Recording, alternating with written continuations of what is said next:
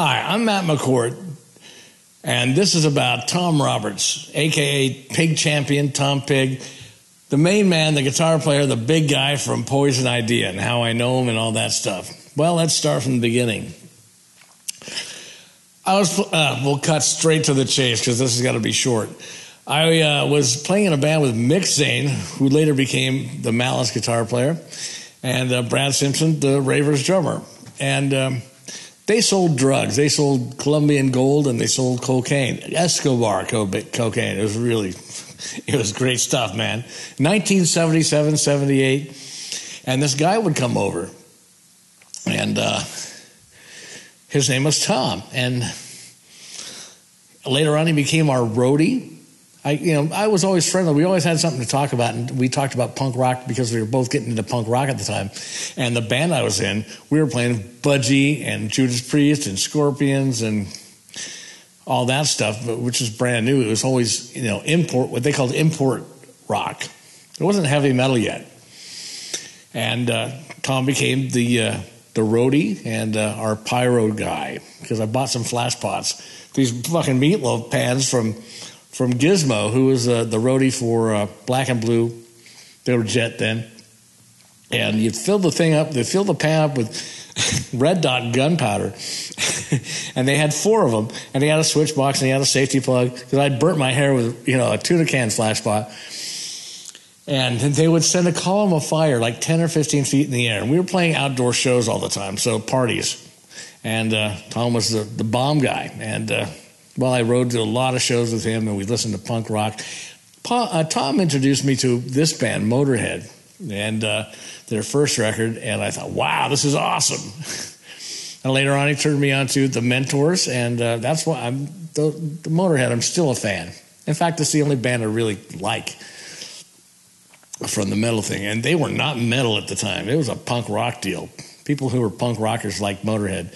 Rockers did not like it, the unrefined sound of the bass and the singing and all that stuff. We were both into punk rock. We had this magazine called Bomp Magazine that actually had a, a column, How to Be a Punk Rocker, like the rules. And I bought a, we bought a bunch of copies so we could give it out to people to, to tell them what they can't like. You can't like Led Zeppelin and Black Sabbath and and there was a whole list of bands that you were not supposed to like anymore, and it, they held, they stuck to it. The long goodbye, they called it dinosaur rock. So uh, Tom and my friend Eric Frey, who was uh, from my area, the guy taught me how to sing. He's known as Erie Boner in the Imperialist Pigs, and he's a drummer.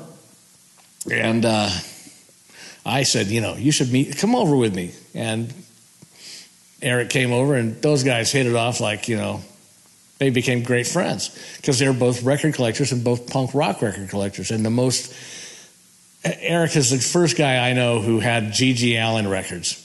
And uh, I mean, GG would send him, you know, videotapes he made for him. It cost him like a hundred bucks. And uh, well, those guys, they became.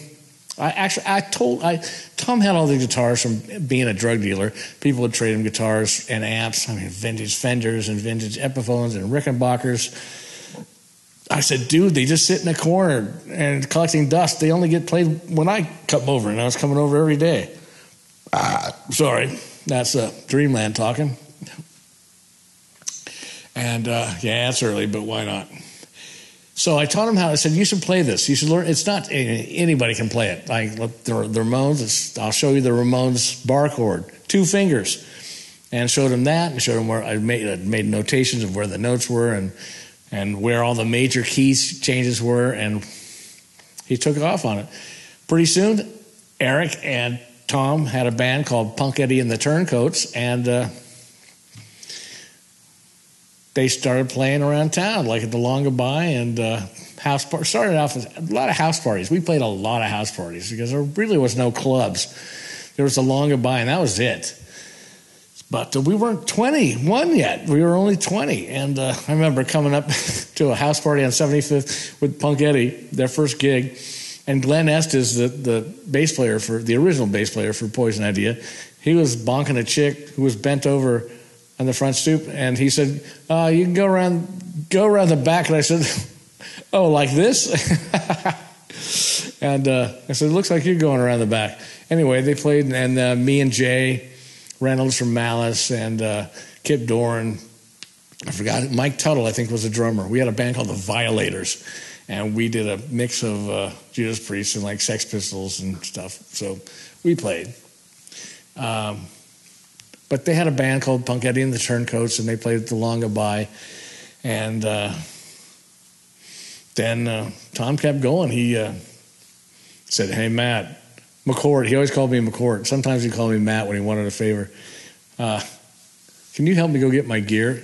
The move the Poison Idea group's gear from it was Dean and Glenn's bass stuff and drum stuff because I had a big Cadillac I think at the time, and uh, I moved them from Clockwork Joe's. It was another club that opened up and uh, on Alder and took them out to Tom's house, and that's when he started with Poison Idea. About a year after that, they're going to do a record, and that's about when Wild Dogs was doing the recording at Recording Associates. And I said, dude, you should record at Recording Associates. I'll get you a deal. And so I got him a great deal from Bob Stoutenberg and co produced the Pick Your King EP. I loaned the bass player, uh, Chris Tense, by that time. Uh, my Randall bass amp, which just kind of had that Lemmy sound, 240 watts. And uh, that came out, was Pick Your King. And Mike Varney, I said, look, you know, Mike was in the nuns. He goes, the nuns? And he, Tom knew about the nuns. Said, yeah, he'll help you get this thing pressed up.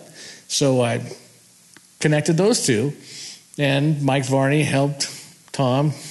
I think it was the Waddell Company. Showed him where to go to get the records pressed up and how to master it. And I think they mastered it where the, the Stratville records were mastered. This is before he did a group album. This is still during the U.S. Metal Series, and uh, that out that 45 the EP came out, and uh, boom, they were off. And uh, it's like you know, I've always kept I was always friends with Tom. It got a little weird after they started playing around town and started to attract a certain group of people who uh, claimed ownership. They still do today. I'm sure I'm going to get a lot of hate mail because I say that I knew Tom in 1977, and well, that kind of discredits them, I guess. But uh, Hey, Tom was always a great friend of mine. He'd come over with his girlfriend, who was a nurse at the time, to come over to my house and hang out. And his girlfriend and my mom would talk all the time. We'd drink a case of Lowenbrau and and uh, jam in the basement and whatever. And uh, oh yeah, that time. Okay. Well, she left because he was getting too punk rock, and um, he figured he was going to kill himself later, which happened later on. Um, Tom and I got tickets to the Ramones, which was at the Earth Tavern, and it, they never said it was an over 21 show when they sold the tickets. I think we had to go to Meier and Frank to, to buy the tickets and or everybody's music. And so we bought the tickets and uh, we got to the show. We got there early. We are the first people in line, you know, like at four in the afternoon. We already saw the Ramones at the Paramount. And uh, so we thought, wow, this is going to be an intimate club show. And uh, they open the doors and they say your ID, and we give them our ID, and they said, "Well, you're not old enough." It's like, what the? F- what do you mean we're not old enough? We, we bought the tickets. Well, this is an over 21 show. It never said that. so we get turned away, go buy a case of Lowenbrau because, you know, Tom was a high roller with the drug money. And he was filthy rich, but you'd never know it by the way he dressed. And when we got back to my house, hey, McCord, let's call a bomb threat in. So we called a bomb threat into the Earth Tavern and said that there's an explosive underneath the stage. Today, you'd, you'd have the FBI at your house like in five seconds. but, you know, this was the 70s, so, or maybe, yeah, the '80s, maybe 1980, 79, 80. And, uh, well, Tom and Eric made good friends, and then they had a band called the Imperialist Pigs, which I recorded I'm credited as producing their record, which I just recorded, I think, uh, on a four track from the driveway, and the mics went into the ca- the house. It was the summertime, and uh, then uh, what happened? Well, they joined Poison Idea, and uh, I said I was playing with Mayhem, and I said, you know, uh, or I was friends with Steve Hanford. I was friends with Steve Hanford from when he was 11 and he, they bought the him and Steve Nims bought the first Wild Dogs T-shirts in 1982, and uh, at outside of Music Millennium. Hi, Terry Currier, and uh, so I said, Steve, I think you, you, and Tom would really get on. And so I took him over, and uh, they became friends. And not long after that, the entire band Mayhem joined Poison Idea. And then later on, Eric Olson, I think, had had enough, and Kevin Sanders from Gargoyle, who's my pal, and he joined Poison Idea, which I thought, well, that's weird because Kevin was totally the most unpunk guy I knew, but it turns out he really was. Kevin is a great guy. Kevin Sanders, hi buddy, how you doing? Hope you're, hope you're, hope you're not bashing in the skulls of uh, shoplifters at Ace Hardware.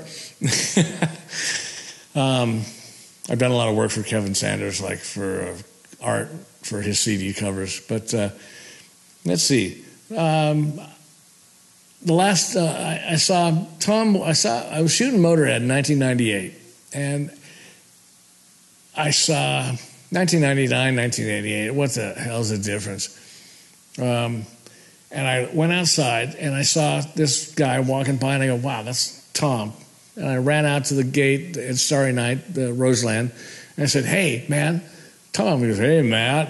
I go, I'm interviewing Lemmy. Do you want to come in and meet him? Come on in. So I, I knew the code for the gate and pressed the code, they opened it up and came back in. And the guys from Hatebreed were there. And I said, Do you, you ever heard of Poison Idea? They go, Poison Idea? Oh my God. I go, Well, this is Tom Pig, Tom Roberts. He's been a friend of mine since, you know, wow, since like 77. And they got down on their knees and did the I'm not worthy. And it's like, wow, they did that for me, but they're doing it like double for you. I introduced him to Lemmy, and I said, The reason I like your band is because of this guy. and he said, she said something funny. Lemmy was just a funny guy, man. He, he was just great. And uh, in fact, later on, I was downstairs, and Shane from Monkey Fur, everybody's asking for autographs. I, he said, Hey, you should get, he noticed my pass. He said, You should have Lemmy sign it. I said, I don't want to bother him. He's got so many other people uh, talking to him. And I said, I, I can't, you know, I've got the memories from all he told me that day and to that day, you know, the, earlier. And uh, I didn't know that Lemmy is right behind me. He grabbed me and gave me this huge hug and said, You're all right, man. He, gave, he takes the pass that I had laminated myself and signs the thing and gives me another squeeze and said, You know, you're okay. even though I don't have hair. It's funny. That was a joke from earlier on when we were interviewing. He said something about hair and said, "Well, you don't have anything to worry about. You don't have to worry about it falling out. It's already gone. you beat it." yeah. Um, so let's see. The next time I saw Tom, was uh, I was oh yeah, that's right. I was I was eating fish and chips at Henry Beasley's in 1995, and I was going to go to to school at PCC and uh, I live on the other side of town. And I, this guy walked by with a Jimi Hendrix book, and I said, "Hey, what book is that?" And he goes, "Hey, are you Matt?" And I go, "Yeah, Matt McCourt." And he goes, "Oh, Fat Matt." And I go, "Yeah, that's me."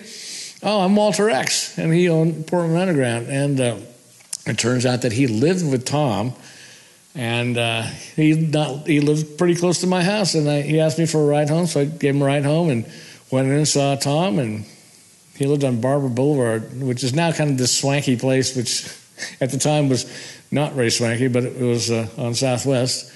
And um, uh, he had sold all the, the gear by then, I guess. But uh, he OD'd, and the, the, the paramedics couldn't get him out the door because he was so wide, so they took him out the window. Uh, later on, he, Tom kept calling me to take him over to Vancouver to sell his record collection for heroin while they were waiting for a $300,000 settlement for a song that Pantera had covered on the Crow soundtrack. And so uh, I said, ah, no. He goes, well, I'll get you high. It's like, that, nah, that's okay. Yeah. By that time, I'd already, you know, been in trouble with the law, and uh, I don't need any more trouble. Once you once you have been in the system, it uh, sucks it kind of sours your whole opinion on uh, your uh, criminal. Either it does or it doesn't, and uh, I didn't want to repeat it. So anyway, um, I learned video, and then I was shooting these bands, and I was working for all these different record companies. And Poison Idea was on a bill with Cradle of Filth, around 1999, 2000, something like that. And uh, so I shot Poison Idea. And uh, let's take a look at some footage. This is Jerry A. blowing fire.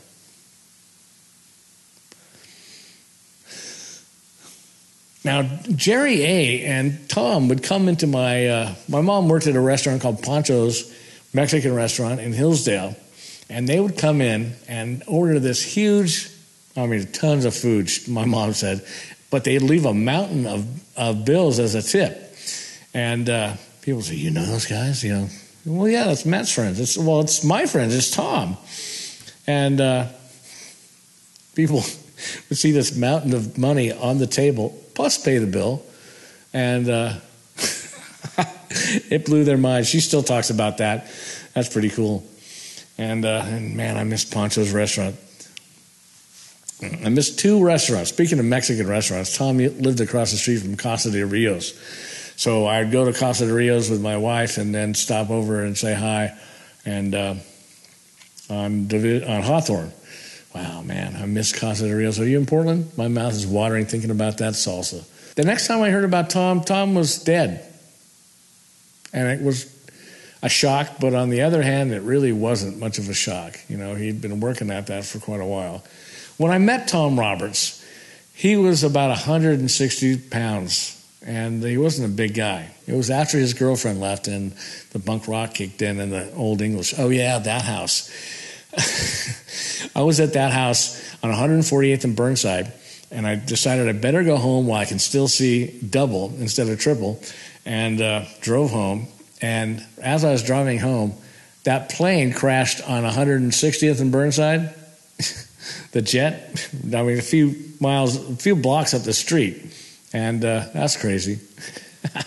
I got home and I tried to call him. I was like, "Oh yeah, that was back in the days when there was no cell phone." So. Uh, I guess I can't call him. The electricity is out. Oops, I just missed the good stuff. So uh, probably good I left because it was you know a 20 minute drive all the way to the west side from Gresham.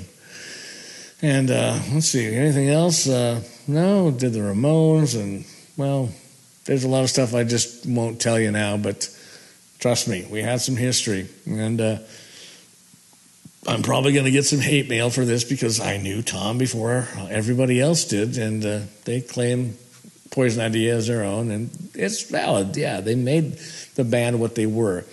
So Tom, Pig Champion, Tom Roberts, the Poison Idea man, he uh, is a legend, and uh, you can see more of it in the Poison Idea movie made by Mike Lastra, and I think it's Smegma Films.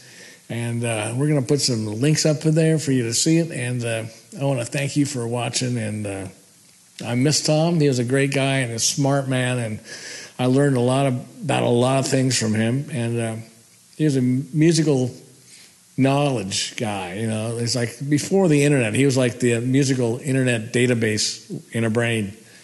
And uh, well, I'll see you later. I'm Matt McCourt. This is the interview with U.S. Metal TV.